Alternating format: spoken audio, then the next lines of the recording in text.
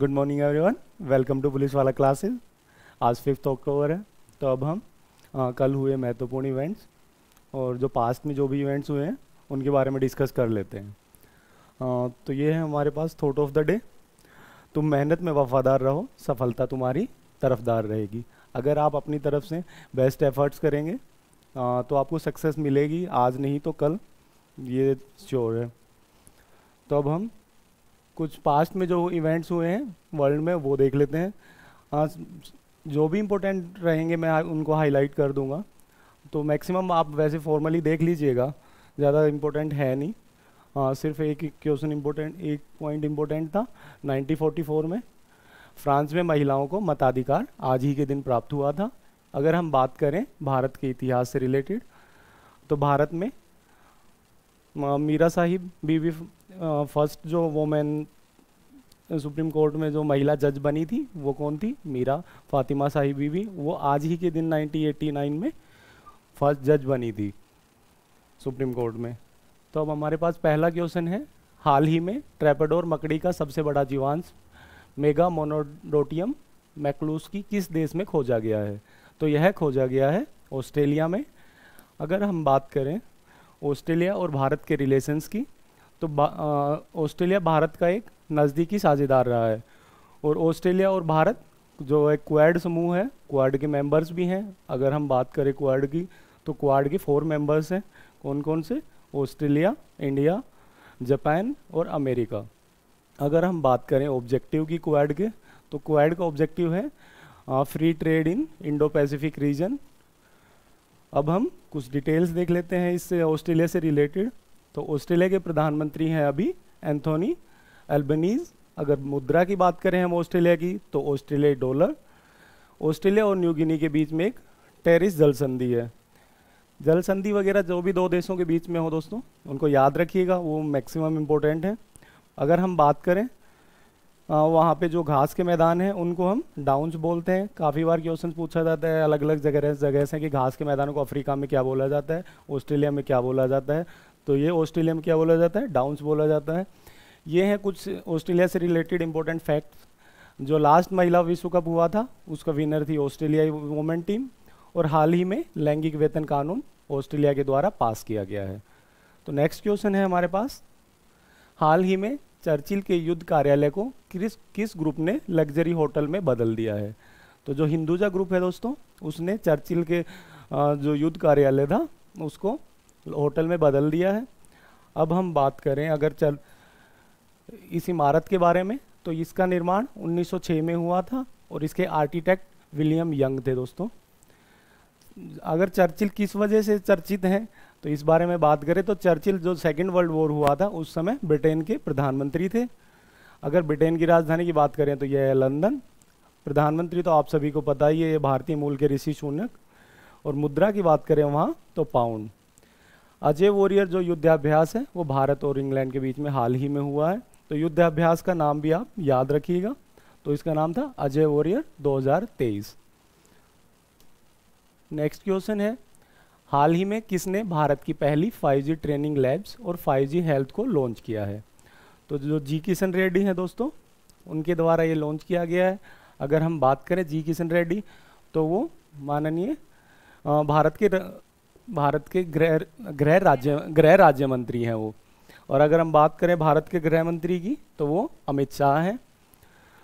तो यह पहली लैब कहाँ पे स्थापित की गई है? तो यह पहली लैब बेंगलोर में स्थापित की गई है। हाल ही में उत्तर पूर्वी राज्यों में यह लॉन्च कर दी गई है। नेक्स्ट क्वेश्चन है, हाल ही में किस राज्य के मुख्यमंत्री ने प्रदूषण से निपटने के लिए 15 पॉइंट का winter action plan plan launch किया है? तो जो मैक्सिमम जो पोल्यूशन की प्रॉब्लम है दोस्तों, वो आप सभी को पता है, वो दिल्ली से ही रिलेट करती हैं। तो यह है, दिल्ली के मुख्यमंत्री अरविंद केजरीवाल के द्वारा लॉन्च की गई है। अगर हम ये पंद्रह पॉइंट एक्शन प्लान की बात करें तो इसके तहत कुछ उपाय सुझाए गए हैं, जैसे सड़कों पर पानी का छिड़काव करना, पंद्रह से बीस दिन के लिए पराली का निस्तारण करना, तेरह स्थानों पर वो रूम बनाकर टीम गठित की गई है। कचरा जलाने पर इस दौरान प्रतिबंध रहेगा। अगर हम बात करें दिल्ली के मुख्यमंत्री अरविंद केजरीवाल हैं, राज्यपाल वो हैं विनय कुमार सक्सेना। हाल ही में यहाँ सुगम्य सहायक योजना वन टाइम सेटलमेंट स्कीम का अनावरण हुआ है। नेशनल ट्रेनिंग कॉन्क्लेव का उद्घाटन भी दिल्ली में हुआ है। अगर हम इसके अलावा दिल्ली में हुए, हाल ही में हुए महत्वपूर्ण इवेंट्स की बात करें तो जी ट्वेंटी का आयोजन हुआ था, जिसका फ़ेमस स्पोर्ट था, भारत मंडपम। तो ये थे दिल्ली से रिलेटेड कुछ इंपॉर्टेंट फैक्ट्स नेक्स्ट क्वेश्चन है हमारे पास, हाल ही में भारत कहाँ पे पेटा ट्रैवल मार्ट 2023 का की मेज़बानी करेगा। तो यह मेज़बानी करेगा दोस्तों, दिल, नई दिल्ली में।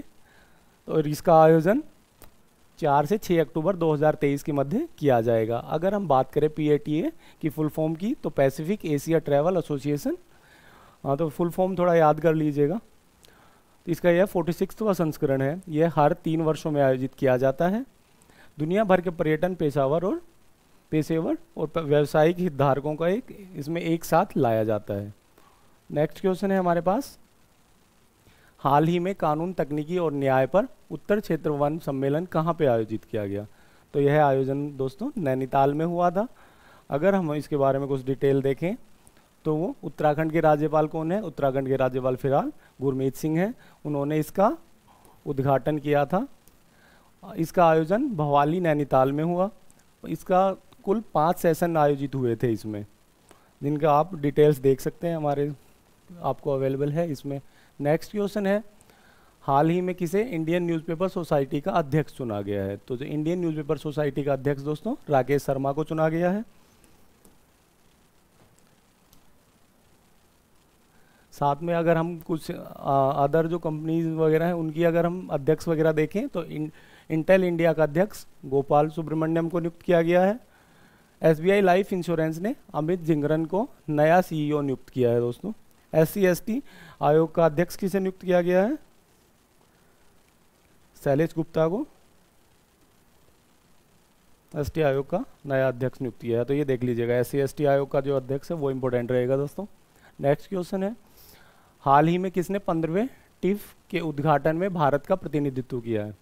अगर हम बात करें टिफ की तो यह एक फ़िल्म, सार्वजनिक फ़िल्म फेस्टिवल है।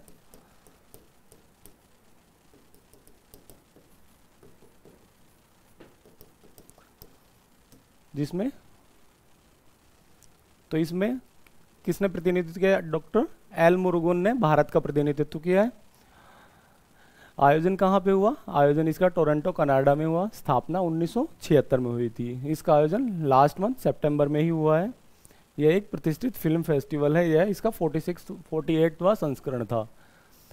नेक्स्ट क्वेश्चन है, हाल ही में महात्मा गांधी की 150वीं जयंती पर किस राज्य में विश्व शांति स्मारक के रूप में दुनिया के सबसे बड़ा गुंबद का उद्घाटन किया गया है? तो यह किया गया है दोस्तों, महाराष्ट्र में। अगर हम बात करें महाराष्ट्र की तो यह महाराष्ट्र के पुणे में स्थित है। 160 फीट व्यास और दो फीट ऊँचा है यह। यह वेटिकन सिटी के सेंट पीटर बेलिस्को के गुबंद के क्षेत्रफल में भी बड़ा है। इसका नाम तेरहवीं सदी के संत ज्ञानेश्वर पर रखा गया है। अगर हम बात करें मध्य प्रदेश सॉरी महाराष्ट्र के मुख्यमंत्री की तो कौन है? महाराष्ट्र के मुख्यमंत्री एक नाथ शिंदे हैं। एक नाथ शिंदे वहाँ के मुख्यमंत्री हैं और वहाँ पे फ़िलहाल दो उप मुख्यमंत्री हैं, अजीत पवार और देवेंद्र फडणवीस, जो वहाँ के पूर्व मुख्यमंत्री भी थे। नेक्स्ट क्वेश्चन है 18 अक्टूबर के बीच में सॉरी के बीच अर्जेंटीना के ब्यून्स आयर्स में होने वाली तीसरा युवा ओलंपिक खेलों के लिए भारतीय टीम के ध्वजवाज किसे चुना गया है? तो यह मनु भाकर को चुना गया है, वो एक निशानेबाज हैं। समापन समारोह में भारतीय ध्वजवाहक जेरेमी लारिनुंगा होंगी। इसमें कुल भारत ने तेरह पदक अपने नाम किए और इसमें अगर भारत के स्थान की बात की जाए पॉइंट्स टेबल में तो वो सत्रहवें स्थान पर रहा। पहला स्वर्ण पदक इसमें इसने मनु भाकर ने अपने नाम किया था। सबसे अधिक पदक अगर बात करें तो इसमें रसिया ने सबसे अधिक पदक अपने नाम किए थे। अगर इन खेलों के उद्देश्य की बात की जाए तो मनुष्य को विकसित करना और विश्व शांति में अपना योगदान देना इसका उद्देश्य है। नेक्स्ट क्वेश्चन है, अटल बिहारी वाजपेयी दिव्यांग खेल प्रशिक्षण केंद्र का उद्घाटन किसके द्वारा किया गया? तो यह उद्घाटन श्री नरेंद्र मोदी जी के द्वारा किया गया था कहाँ पे? मध्य प्रदेश में। यह देश का पहला अत्याधुनिक दिव्यांग खेल परिसर है, जिसका निर्माण केंद्रीय कृषि मंत्री नरेंद्र सिंह तोमर की पहल पर किया गया है। यह मध्य प्रदेश के ग्वालियर ज़िले में बनाया गया है। मध्य प्रदेश से रिलेटेड अगर इम्पोर्टेंट फैक्ट्स की बात करें तो हाल ही में वहाँ पे पीएम मोदी द्वारा स्किल सेल एनिमिया मिशन दो हज़ार सैंतालीस की शुरुआत की गई है। आहार अनुदान योजना वहाँ पे लॉन्च की गई है। राष्ट्रीय योग ओलंपियाड वहाँ पे शुरू किया गया है अभी हाल ही में। सीएम राइज स्कूल की घोषणा हुई है। सीएम लर्न एंड अर्न योजना की हाल ही में वहाँ पे शुरुआत हुई है। थैंक यू फॉर वॉचिंग इसकी पीडीएफ आपको हमारे टेलीग्राम चैनल पुलिस वाला क्लासेस पर अवेलेबल करवा दी जाएगी। Thank you thank you once again